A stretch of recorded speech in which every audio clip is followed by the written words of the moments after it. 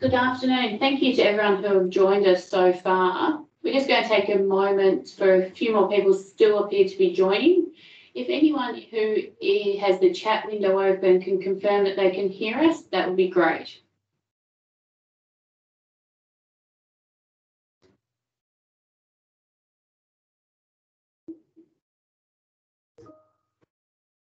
Thank you very much.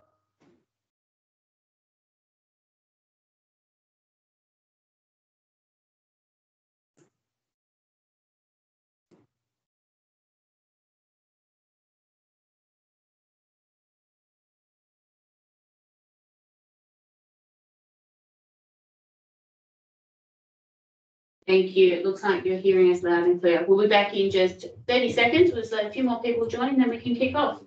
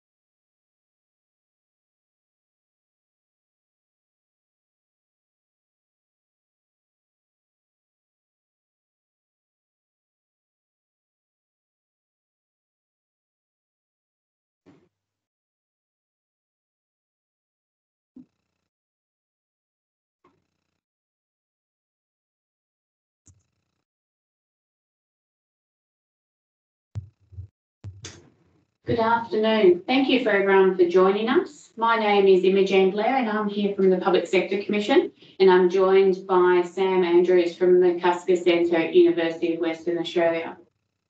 Um, we have colleagues joining us from different areas across Western Australia, and I'd like to take the opportunity to acknowledge the traditional custodians throughout Western Australia and their continuing connection to the lands, water, and community.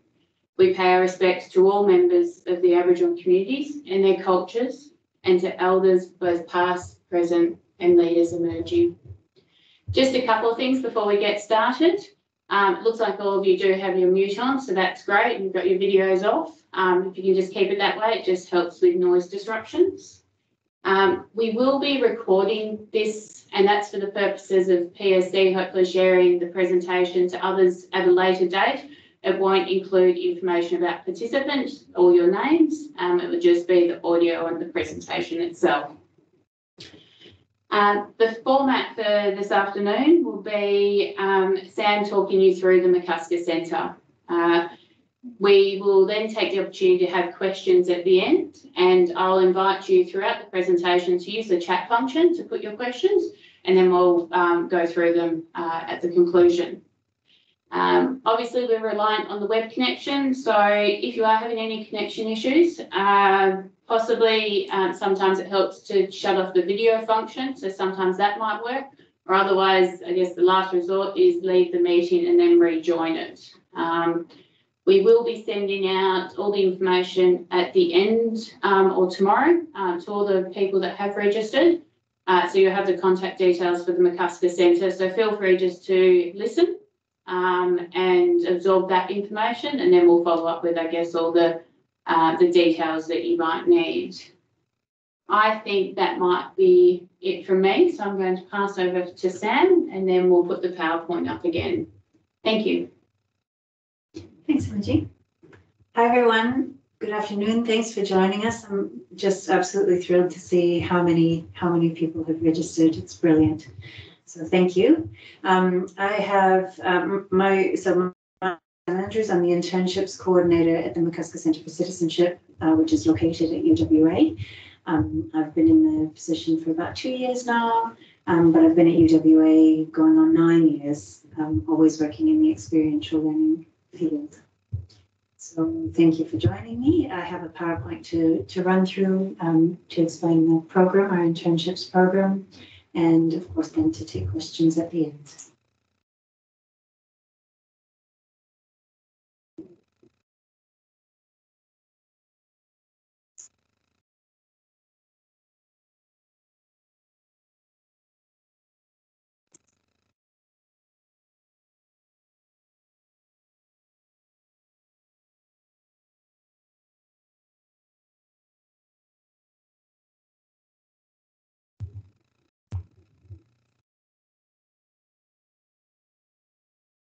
So the McCusker Centre for Citizenship uh, is located at UWA. We only work with UWA students in our internship program. Um, The centre started in 2015, and we had our first round of interns in semester one of 26. Uh, there were eight of them. Um, to give uh, an indication of the growth over the last few years, um, this semester two, we have 125 students out. So it's grown significantly in Um, the, the aim of the centre is to foster caring, connected, and socially engaged citizens. And the primary way that we try to do this is through our internship program.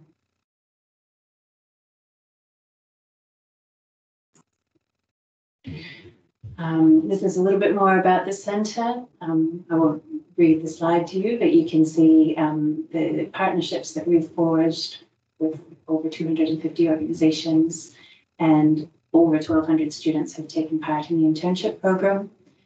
Um, we enjoy uh, very high levels of, of satisfaction from our students and from our host organizations. Um, you can see the percentages there up near 100. Um, we also uh, receive feedback from the students and the host organizations um, qualitatively as well. So not just numbers on our on our surveys, but also responses about um, how the internship program leads to lifelong um, active citizenship. So lots of students will undertake an internship and it opens their eyes to issues in the community that they had no idea about previously. Um, it might open their eyes to possible career paths that they hadn't considered. Um, I've heard plenty of stories about accounting students undertaking our, our community-based internships and suddenly being aware that they didn't have to work in, in corporate accounting, that they could work in a not-for-profit organization or in a um, local or state or national government organization as well. Um, so we've got these two levels of, of really positive feedback um, from both the students and host organizations. Um, this is our, uh, we have a, so in, in July of 2019, we entered into uh, an agreement and partnership with the Public Sector Commission. Um, since then, 69 um, internships have been completed with PSC uh, agencies across across several agencies, about 20. We have another 14 roles coming up in our in our summer round, which starts next week. Um, here's a, a, list. This is not a, a, comprehensive list, but just an indication of the different areas of the public sector um, which have taken part in our internship program with great success. So to, to give a bit of information about our internship program and, and to explain how it's different from some of the other uh, work experience and, and practicum options on offer at UWA, um, our, our goal is to increase that, that lifelong community service, that active citizenship. So our internships include quite a lot of learning content to help the students see how they're contributing and how they can continue to contribute throughout, throughout the rest of their lives. And we, we take the, a very structured approach to the internships and to the learning activities that the students take part in, um, in addition to their, to their internship. Um, and these are the goals that we try to meet with that, that final one, pathway to lifelong community service being the most, the most important. And as I said, there are just so many examples of students undertaking an internship and afterwards telling us about how they've how they've continued to contribute to the to the community afterward. Um, I heard a great story about a student who she's incredibly busy. She's one of these very ambitious students who's studying and working and volunteering and everything else. And although she was already contributing to the community through her volunteer work, she undertook one of our internships. She was working on a research project around um, family and domestic violence, and she made herself a commitment to spend half an hour a week reading articles about new um, new research and new findings around family and domestic violence, and that's that's enough. She's so she's made a commitment to continue, and and I think that's brilliant. Um, to give an idea of some of the things that interns can do, uh, they, I'm, I'm endlessly amazed by the quality of the applicants who come to our and the things that they're capable of.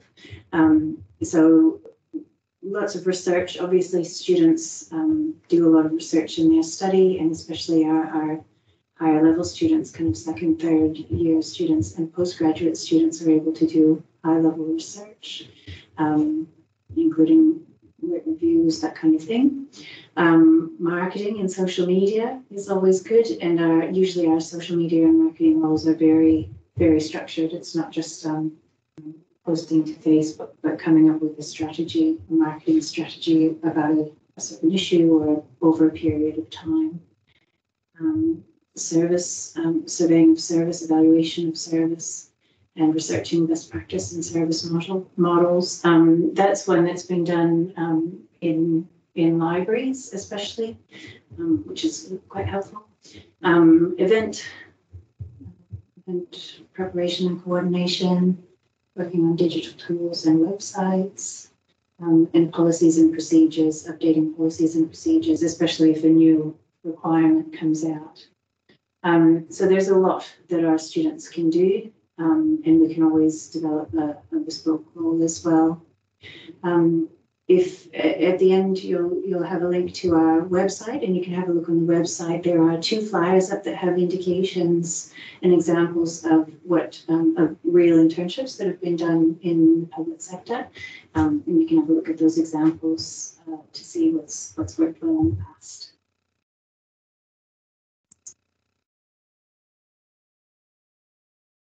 um, so this is the internship program from the students' point of view.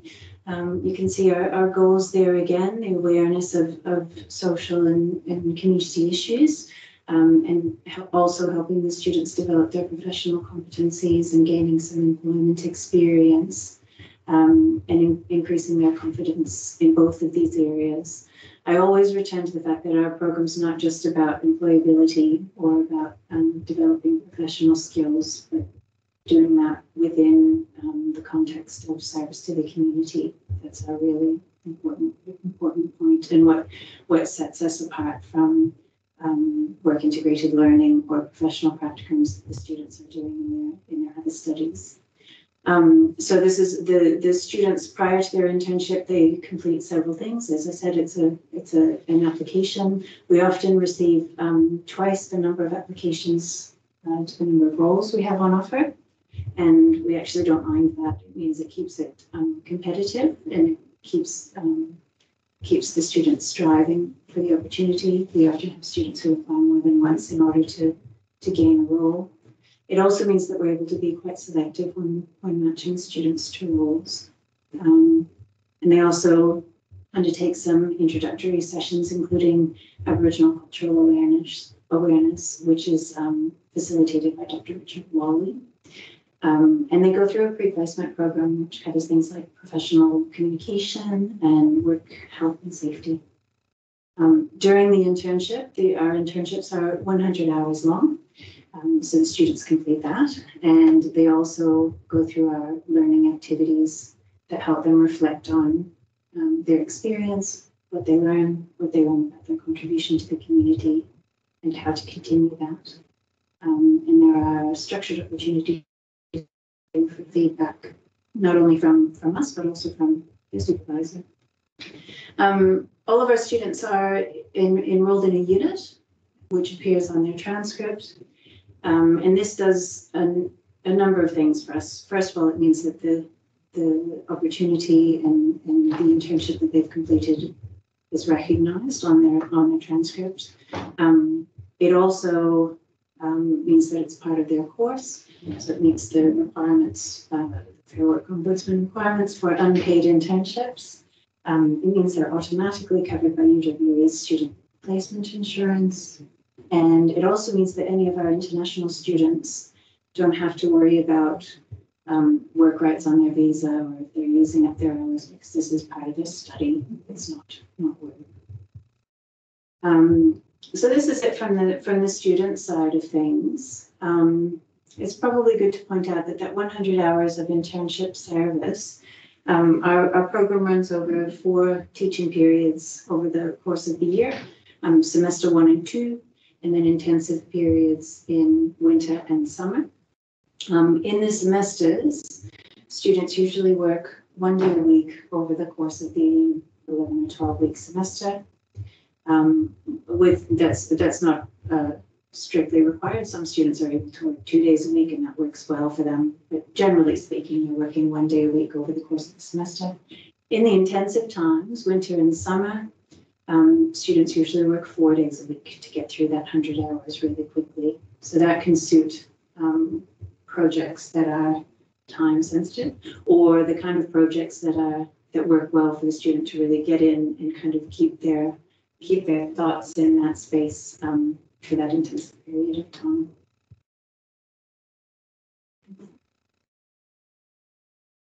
From the supervisor's point of view, which is probably you're all more interested in, um, here's here's how it goes. So I'll help you to design a role.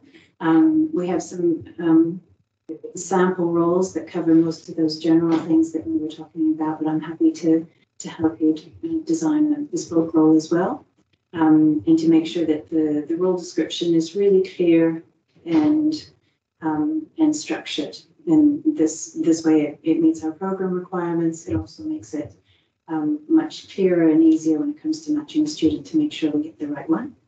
And, and it also means that we're able to just check and make sure that it will fit within the 100 hours. Um, carefully selected student intern. So our students, when they apply to our program, they apply to the program generally, not to a specific role. Um, and we do the matching. We have a very carefully designed student application that's uh, that draws out their motivations and their strengths and skills and experience and then that combined with a carefully designed role description means that we're able to do um, do the matching quite well and quite carefully. Um, and they're hugely successful. It's very rare for a, for a, a match not to work out.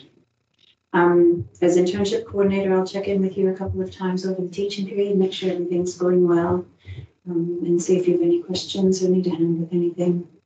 And I'm also there to help should things go wrong. They don't usually, but if there's ever an issue or a question, um, I'm there to help um, and can step in to, to help with difficulties with the student as well. Again, it doesn't happen very often, but if it does, it's just nice there's someone, someone to help you out there.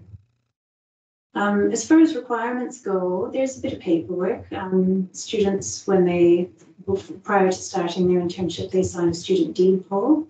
And this um, commits them to professional conduct um, and to following our rules as well as your rules. Um, and that needs to be countersigned by their supervisor. There are uh, internship evaluations uh, completed at the midpoint of the internship, so around 50 hours, and also at the end. Um, and this is done in collaboration with your with your student intern, um, usually through through a meeting. There, each student has a, a time sheet to keep track of their 100 hours over the course of the time. Um, and we ask you to sign that off. As a supervisor, you need to be available to the intern for the duration of the internship. Now, this doesn't mean sitting right next to them, but just being available if they have any questions, um, if they need help.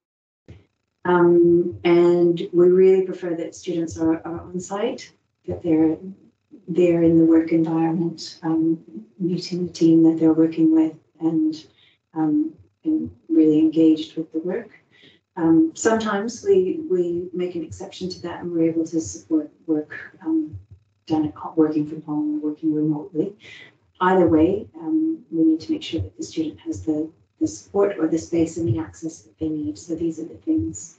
As far as supervisor requirements, um, there's not a specific level of, of employee or, or anything like that. I mean, the supervisor needn't be a, a manager from our point of view. Um, we just ask that they're paid members of staff. Of, this wouldn't come up so often with, um, with agencies of the public sector, but with some of our smaller not-for-profit, it does. It's here. Um, so there's this, this level of support that's given to supervisors um, is also given to the students. Um, I, members of the internship team also check in with the students a few times over the course of the, of the teaching period. And of course, they've got their engagement with peers and with the unit coordinator as they're completing their, their learning activities as well.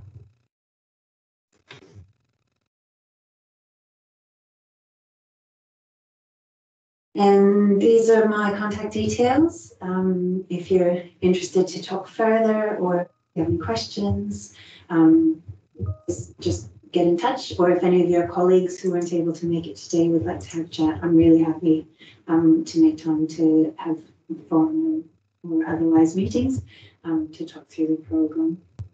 Um, and now I'm very happy to answer any questions. Thank you very much for sharing that information with us, Sam, and I'm sure people have a few questions. Um, we do have one that's just come through from Kelly, and Kelly had emailed us as well. And Kelly is um, part of North Regional TAFE in Karratha, and she asked about in terms of uh, possible regional placements. Mm. Can you talk a bit further about those Yes, options? Yep, very happy to. I'm really pleased this question has come up. Um, we're in, in, in great support of regional internships. The McCusker Centre has um, funding available to provide students with travel bursaries in order to ensure that the student's not out of pocket at all and to make the opportunities available to, to all students equitably. Um, we have, I think we've got 18 regional roles in, in the coming summer round, um, and they, they work quite well. The idea with those, uh, they only work in the um, in the intensive se- sessions, so either winter or summer. And the idea is that the student travels to the place and stays for the duration. Um, so usually, because they're more likely to be working full time, it's closer to two weeks or two and a half weeks rather than the four that an intensive session usually would be. Um, and it can work really nicely for those intensive projects or, or event planning as well. Um, so very happy um, for regional regional placements, and it's an excellent opportunity for the students. Um, we've just received another question. It's a very good question. A few of you are probably asking in terms of um, payment of interns or agency costs. Um, Mm. Can you just explain that a bit more? Sure. So because our our internships are completed through enrollment and enrollment in a unit that appears on the student's transcript, um, they meet the requirements for unpaid internships. So the students don't receive any payment. Um, and really the only cost to agencies would be a supervisor's time um, and space, desk, desk space, um, and any access issues, you know, providing login to the computer or card access to the building, that kind of thing. Mm. But the internships are unpaid. So no direct cost to the agency. No, No, that's right. Yeah. So, Um, and you explaining, Sam, a question that came through on email was um, you explained your role and the role of the centre. So you act as a conduit between an agency directly and um, looking at uh, internship opportunities. So it's not necessarily through the commission itself. That's right. Yep. So I'm happy to be contacted with any questions or, or to discuss. Just a couple more questions coming through. Um, yes, uh, we will be providing a copy of the presentation for people's information, and then also some further links to the website. Um, I've also got a further question there is, uh, can agencies be, uh, interns be placed in an agency at any time through the calendar year? I think you're talking about the Uh, semesters, yeah. so you That's a good question. So we do run, we run the internships in rounds. Um, at the moment, we're accepting roles for, uh, semester one or, or winter of twenty twenty-one. Um, and we advertise the rounds, uh, quite, quite, um, openly, um, through, through email. So, um, we can, we can send those out to you and let you know when they open and when they close. Um, as far as uh, submitting a, a role description, starting that process of, of um, finalizing the role, that we usually have several months in lead up to to around starting. So um, semester one runs from March to June, And then winter runs usually from mid-June to mid-July. Um, semester two runs from kind of August through to November. Um, and summer is broken into two sessions, either mid-November to mid-December or mid-January to mid-February. A lot of dates to throw at you, but, um, but the information's on the website as well. And we'll send that through on email to people too. Um, I know from the commission's perspective, we've had a couple of interns work with us on projects and some of them have relied on data skills, but I know um, a colleague recently reached out to McCusker Centre quite early because it was, seems like a quite a specific skill set that they're looking for. Um, and you were able to sort of do some work around that and you were able to sort of pinpoint the, the school and the background that was probably more suited to that um, intern opportunity. So that was really good. The number of, in, of applications that we receive from students means that, that we're, we're able to be really careful in our matching. Um, and we receive applications from, uh, first year students right up through to the occasional PhD candidate. So we've got quite a range of skills and, um, range of, of interests there as well. I, I invite anyone else who has any questions. Um, so I guess while we're just waiting for any questions to come through, I guess the main uh, thought for people maybe to take away is to think about those semester one timing, which would be about thinking about now, having it sort of um, fleshed out a bit more by December to have a chat with you. Um, and then with the idea of January is when you would want the sort of the description quite clear. That's right. Yeah. Yeah, Yeah. yeah. And then- Student applications for semester one close on the seventeenth of January. Um, so we'd love to have the rules finalized. So maybe for public sector agencies, pre-shutdown is a good idea to have everything sort of starting to align. Looks like we might have exhausted the questions. Um, we will provide Sam's details in the email, so if you've got any further questions, you can contact her. Um, Sam, is there any other last parting words from you? Just to say thank you, thank you for attending. Excellent. Well, thank you for the um, opportunity to talk with you all. Um, we will follow up with an email. And um, yes, have a great afternoon. Thank you.